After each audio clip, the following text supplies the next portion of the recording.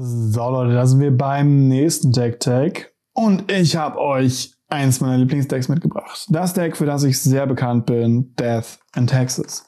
In einer Blood in Texas Variante, die ich lange, lange, eine Zeit lang gespielt habe, 2000, ich glaube 2018 oder 2017, die jetzt langsam wieder hochkommt. Und da ich Yorion in diesem Deck nicht mag, bin ich aktuell von meinem Signature Deck ähm, leider weg. Es ist also Viele Leute kennen mich von Turnieren und ähnlichem nur dieses Deck spielen und ich habe damit auch äh, ziemlich oft ziemlich viele Erfolge gehabt und bin sehr, sehr oft in die Top 8 reingespielt damit und so weiter und so fort äh, mit einem einer Art von Budget-Deck. Aber ich spiele das halt schon seit Ewigkeiten. Das ist, glaube ich, das erste Deck-Deck gewesen, was auf diesem Channel kam.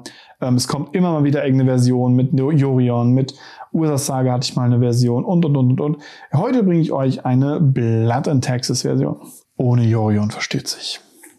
Gucken wir uns die Kreaturen von Mana-Kosten von oben nach unten an. Wir fangen an mit Solitude. 5 Mana, 3-2 Flash, Lifelink. Wenn er ins Spielfeld kommt, exilieren wir eine Karte, äh, eine Kreatur. Und der Beherrscher kriegt Lebenspunkte in Höhe der Stärke der Kreatur.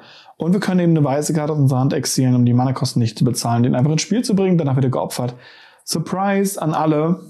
Wir haben sehr viele weiße Karten drin. Dann Timeless Dragon. 5 Mana, 5, 5, also Modern Horizon 2 all over again, by the way. 5 Mana, 5, 5 fliegen mit Planes Cycling. Können ihn aus unserer Hand abwerfen, können direkt nach einer Planes durchsuchen auf die Hand nehmen. Dann auch unser Deck mischen. Und wir können den Eternalizen, also wir können ihn für 4 Mana aus dem Friedhof exilen und einen 4-4 Zombie Dragon Token machen. Ist halt eine Fähigkeit, mit der wir es aus dem Friedhof casten, was halt King Control und so weiter ganz gut ist. Und das Plane Cycling ist ganz nett. Ich mag die Karte. Das Plane Cycling ist in diesem Deck sogar wichtig. Dann spielen wir Flickerwisp und äh, jetzt kriegen ein paar Leute, die mich schon länger verfolgen und schon länger kennen, wahrscheinlich Flashbacks, weil ich bin immer ein Verfechter gewesen von drei Flickerwisp in 60 Kartendecks. Und da bin ich aktuell auch wieder drauf. 3 Mana, 3-1, fliegend, wenn er ins Spielfeld kommt, flickern wir eine andere Permanente und bringen sie am Ende des Zuges wieder rein. Wenn man jetzt nicht andauernd in irgendwelche Death and Texas Mirror reinläuft oder Sachen, wo es wirklich unendlich wichtig ist zu flickern, was es aktuell nicht gibt, kann man mit drei Flickerbist sie als Schutzzauber für die eigenen Kreaturen, für die eigenen Karten viel besser benutzen, als wenn man sie als 3 Mana 3 1er droppt, die danach nichts mehr tut. Dementsprechend bin ich immer ein Verflechter gewesen von drei Flickerbist und bin's auch wieder. Dann gucken wir uns an, Skyclave Operation haben wir zwei Stück drin, ist ein 3 Mana 2-2er, der wenn er ins Spielfeld kommt, ähm, extrem nicht Land, nicht Token Permanentes, das wir nicht kontrollieren. Gott, wie viele Einschränkungen.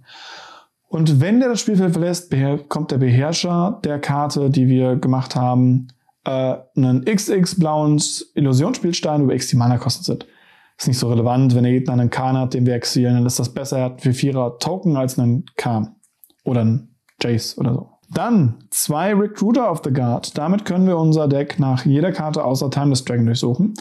3 Mana 1-1, wenn er ins Spielfeld kommt, durchsuchen wir unser Deck nach einer Kreatur mit Verteidigungsstärke von zwei oder weniger und nehmen sie auf die Hand, mischen nach unser Deck. Jetzt kommen wir zu einer Sache, weshalb dieses Deck Blood in Texas heißt und auch eine Sache, ihr werdet schon sehen, ich habe ja Texas relativ ausgefreut.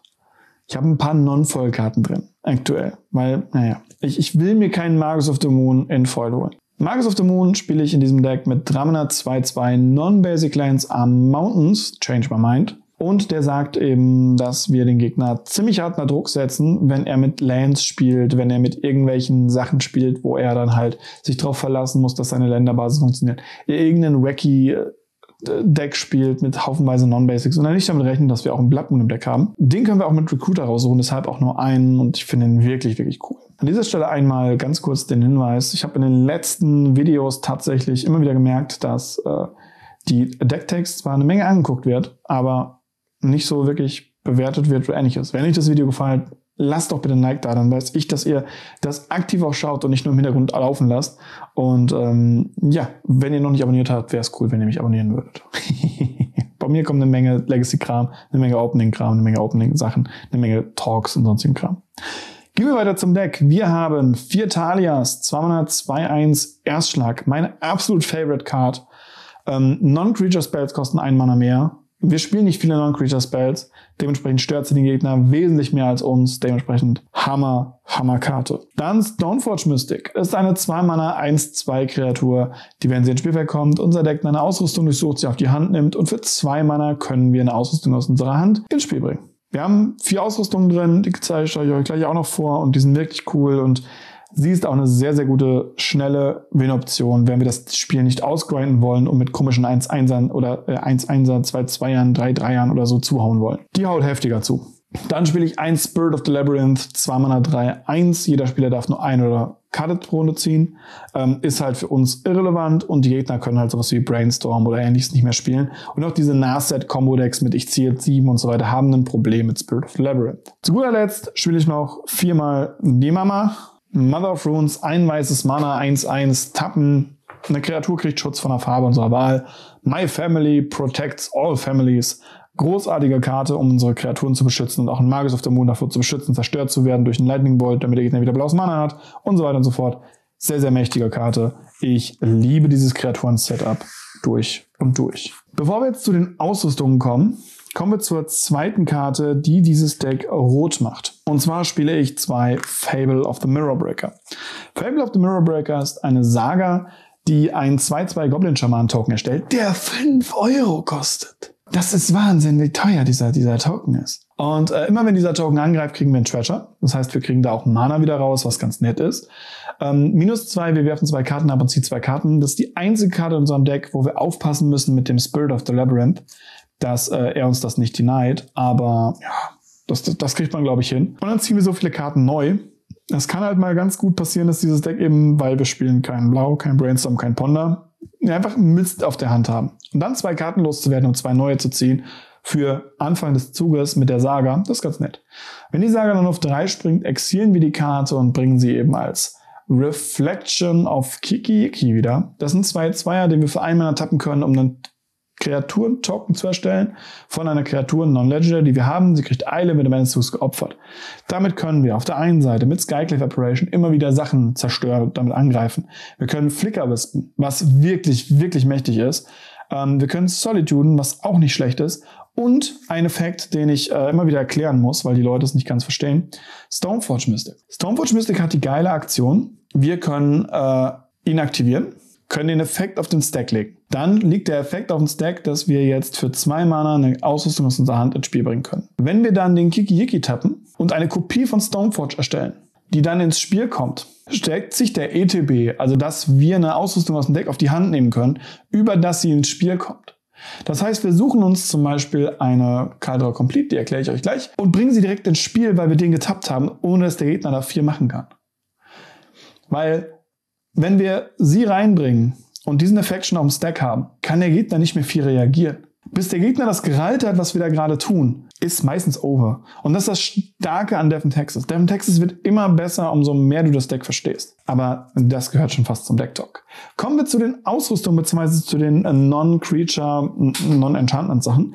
Ähm, da haben wir erstmal die Ausrüstung Caldera Complete, habe ich gerade schon erwähnt, ist eine 7 Mana Ausrüstung mit äh, 7 Mana zum Equippen, mit Living Weapon, das heißt, sie kommt mit einem 0-0 Germ Phyrexian Token ins Spiel. Und die ausgerüstete Kreatur kriegt plus 5 plus 5 Eile, Trampelschaden, Erstschlag und wenn sie eine Unzerstörbarkeit und die Ausrüstung ist auch unzerstörbar. Und wenn sie einer Kreatur Schaden zufügt, exilen wir diese Kreatur. Sehr, sehr mächtig. Gerade, wie gesagt, mit der Kombination, die ich euch gerade gesagt habe, könnt ihr halt einfach eine raussuchen, reinbringen, angreifen. Bam! Die etwas langsamere Version davon ist die Better Skull, 5 Mana Ausrüstung mit Living Weapon. Und die ausgerüstete Kreatur kriegt plus 4 plus 4 Wachsamkeit Lifelink für 5 Mana zum Equippen. Und für 3 Mana können wir die sogar auf die Hand nehmen, dann können wir die eben beschützen vor Removal Spells. Die ist eine ziemlich gute Karte gegen sowas wie Control, die ist eine ziemlich gute Karte gegen so Midrange und Combo, weil sie schnell finisht oder eben auch unzerstörbar ist für die Midrange Decks.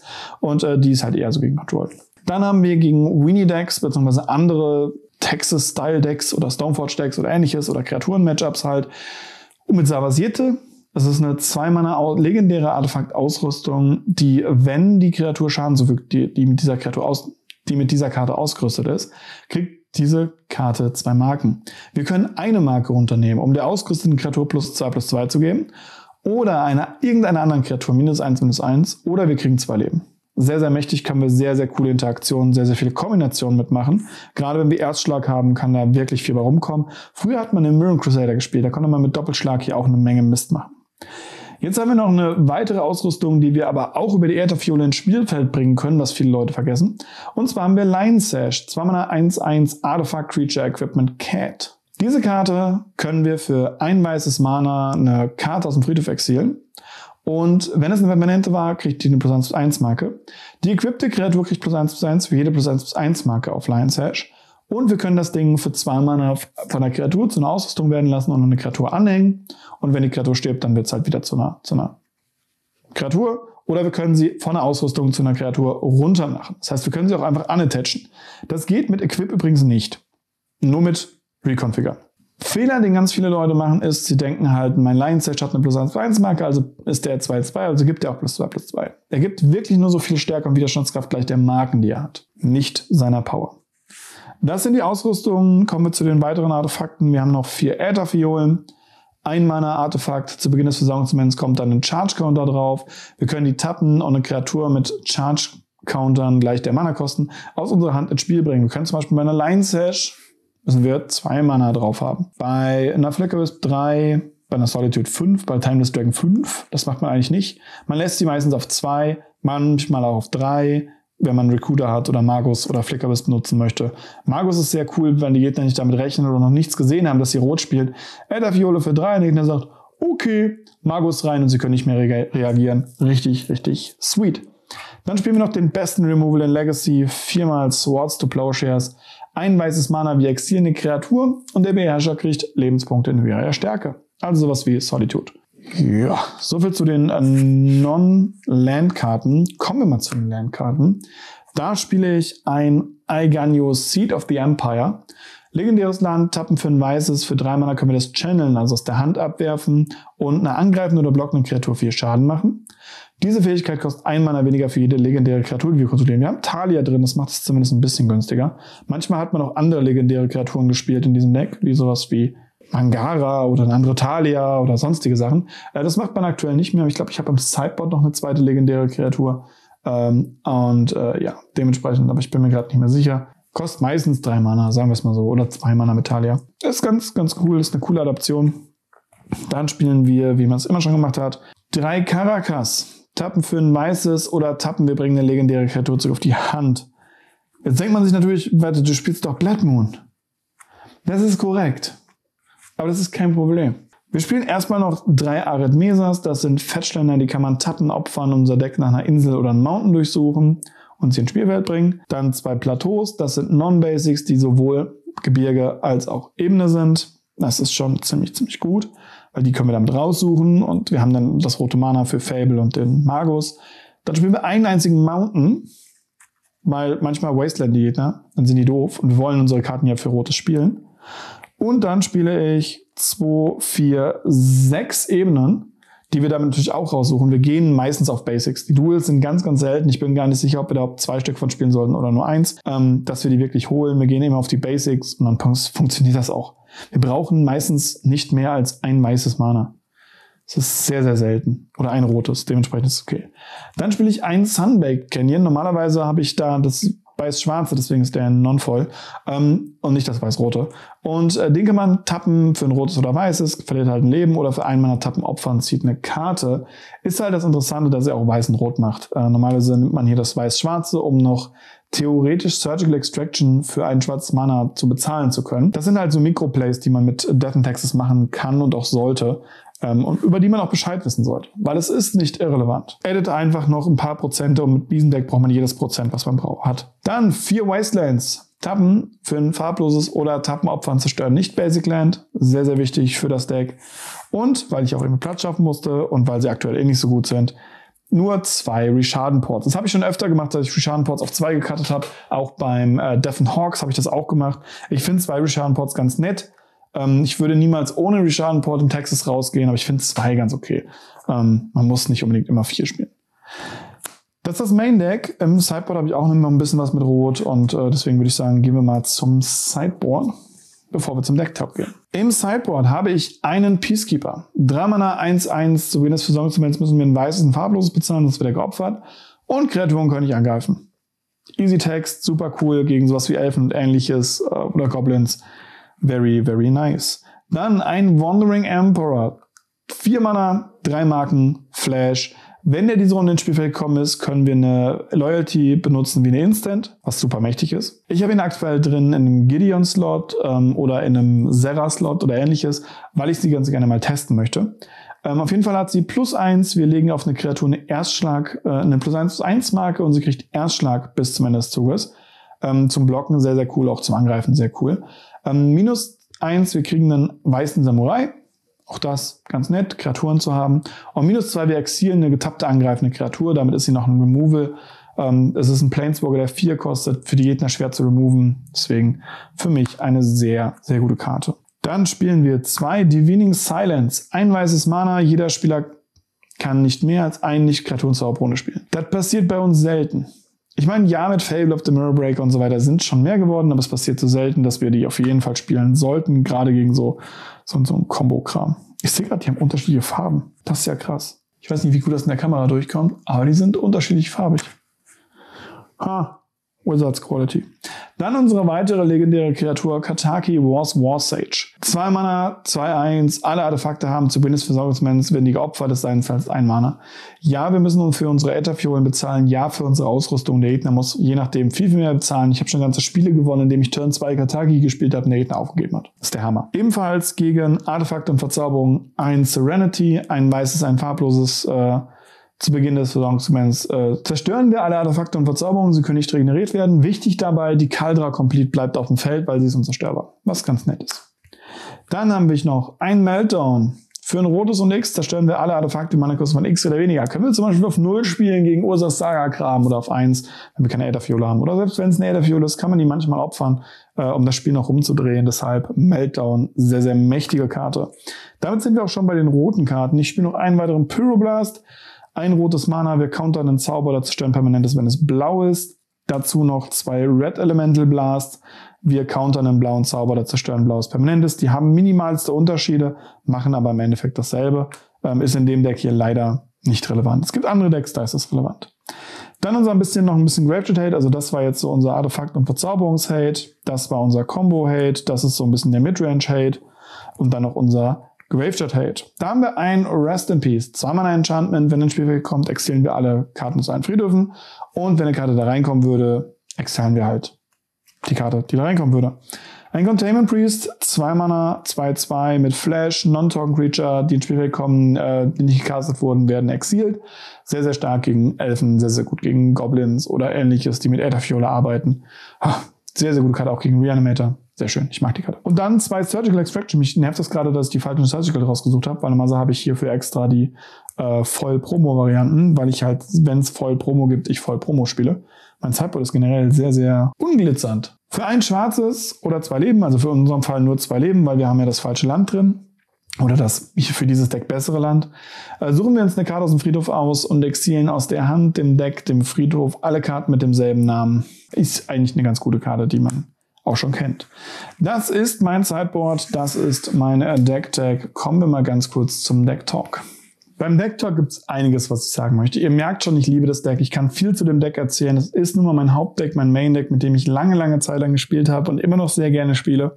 Dementsprechend weiß ich da halt relativ viel. Ich finde es halt immer wieder lustig, wenn ich halt so ein paar Sachen austeste, wie The Wandering Emperor oder Kataki. Kataki ist mittlerweile ein Main-Set, das wird hauptsächlich gespielt. Ähm, ich habe manchmal Sachen gespielt wie einen Peacekeeper und die Leute haben mich ausgelacht damals noch. Heute spielen die Leute das auch. Und das finde ich halt interessant. Ich habe mit dem Deck sehr, sehr viel Erfahrung. Ich habe sehr, sehr viel damit gespielt und ich liebe das Deck. Und ich würde es aber niemals einem Anfänger empfehlen. Auch das Mono-Weiße würde ich niemals einem Anfänger empfehlen, weil das Deck ist sehr komplex. Man muss die Meta können, man muss austesten können, man muss wirklich sich eine eigene Liste zusammenschießen, die man für sich selber testen kann und benutzen kann. Und ähm, es, man, am Anfang kriegt man nur auf die Fresse. Und ähm, es ist sehr, sehr, sehr enttäuschend. Dazu kommt halt wirklich, dass manche Leute immer wieder sagen, ja, Devin Text ist mein bestes Matchup. Und ich dann sagst du, ja, dann spiel halt mal gegen einen richtigen Texas-Spieler und nicht gegen einen Typen, der das Deck halt so einmal alle drei oder vier Wochen auspackt. Dann braucht man das Deck gar nicht spielen. Ich habe auf jeden Fall die rote Version mittlerweile ein bisschen gespielt, weil ich sie mega witzig finde. Ich finde die Fable super witzig mit Flicker Wisp und Stoneforge, so ein bisschen so diese Trigger auf den Stack setzen, der Hammer, was ich auch schon gemacht habe ist, äh, ich bin hingegangen und habe dann, äh, wer zu Beginn des nächsten Endsteps geopfert wird, in meinem eigenen Endstep einen, einen Peacekeeper nochmal kopiert, damit der Gegner nichts zerstören konnte, damit ich immer zwei davon hatte und dann in meinem Zug hat er den Original zerstört und der Kopie ging drauf und ich habe angegriffen. Dazu kommt halt, dass es wirklich bis zum nächsten Endstep wirklich auch so Sachen kann, wie man kann einen zusätzlichen Blocker im eigenen Endstep äh, äh erschaffen. Man kann im Endstep mit Flickerwisp viel Scheiße machen. Man kann mit Stoneforge Mystic viel Gefahr machen. Magus of the Moon, mega starke Karte aktuell. Line Session, eine neue Karte aus äh, Dynasty, Hammer. Also es ist wirklich, es ist, äh, ja gut, der ist auch aus Dynasty. Mega cooles Deck, es macht mega Spaß zu spielen und ich liebe das Deck einfach und äh, ich hoffe, das habe ich auch rübergebracht euch und euch nicht zu sehr damit genervt, dass dieses Deck cool ist. Ich hoffe, ihr habt Spaß. Wir sehen uns beim nächsten Mal. Bis dahin, Eublick seht. Ciao, ciao.